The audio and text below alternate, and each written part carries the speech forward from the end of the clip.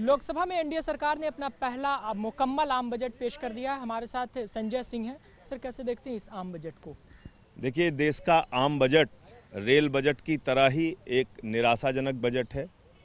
इस इस आम बजट से देश के आम आदमी को बहुत सारी उम्मीदें थीं, लेकिन लोग निराश हुए हैं। टैक्स स्लैब स्लैब बढ़ाने की बात थी, टैक्स का स्लैब नहीं बढ़ाया गया। व्यापारियों को उम्मीद थी कि जीएसटी लागू होगी, जीएसटी नहीं लागू हुआ। कर्मचारियों को उम्मीद थी कि सातवां वेतन आयोग लागू होगा। सातवां वेतन आयोग की सिफारिशें नहीं लागू हुई। युवाओं को उम्मीद थी कि रोज़गार के साधन सरकार उपलब्ध कराने के बारे में कोई नीति बढ़िया लेके आएगी। उसके बारे में कहीं कोई बात ही नहीं की गई, कोई चर्चा नहीं की गई। सरकार कह रही है, साहब, कृषि की आय कम हो रही है। इसकी चिंता व्यक्त की गई, लेकिन कृषि की आय बढ़ेगी कैसे? किसानों को क्या क्या सहूलतें उपलब्ध कराई जाएँगी? इसके बारे में इस बजट में कोई चर्चा नहीं की गई। आम आदमी के जेब पे बोझ बढ़ाने के लिए आपने सर्विस चार्ज 12 परसेंट से उठा के 14 परसेंट कर दिया।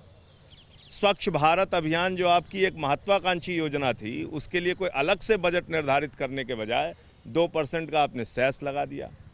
तो मेरा कहना यह है कि ये बजट जो है, वो इस देश के आम आदमी को निराश करने वाला बजट है। लेकिन दो लाख का जो इंश्योरेंस है उसका फ़ायदा गरीबों को मिलेगा। जो पेंशन की बात कही गई है उसका भी फ़ायदा गरीबों को मिलने वाला है। देखिए मेरा ये कहना है कि इंश्योरेंस का फ़ायदा मिलेगा या नहीं मिलेगा इंश्योरेंस के नाम पे एक नहीं कई स्कीमें पहले से चल रही हैं।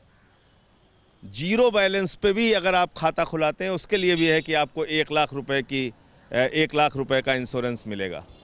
आपने कह दिया बारह रुपए का बारह रुपए सालाना जमा करके दो लाख रुपए का इंश्योरेंस मिलेगा। तो ज़िंदा रहने पे जो कर सकते हैं वो पहले कीजिए। ज़िंदा रहने पे करना ये चाहिए कि आप कैश सब्सिडी की बात कर रहे हैं कि उस स्कीम को हम और बढ़ाएँगे। हमारी जेब में पैसा नहीं है।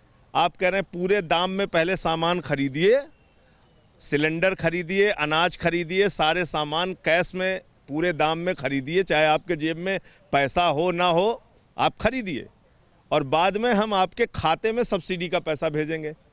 तो ये स्कीम पूरी तरीके से फ्लॉप है, राजस्थान वगैरह के उदाहरण हैं, जहाँ पंद्रह तीस रुपए की सब्सिडी लेने के लिए एक आदमी को तीन महीने तक दौड़ना पड़ा। तो ये एक मज़ाक जैसी योजना है कुल मिला के। मुझे लगता है कि इस सरकार से जो उम्मीद थी लोगों की वो निराशा में रेल बजट से भी बढ़ी थी, इससे और बढ़ गई। बहुत बहुत शुक्रिया। इस तरह आम आदमी पार्टी ने भी आम बजट को जो है वो नकारा है। कैमरा पर्सन नीरज के साथ अंसरुल्ला मुंसिफ टीवी, दिल्ली।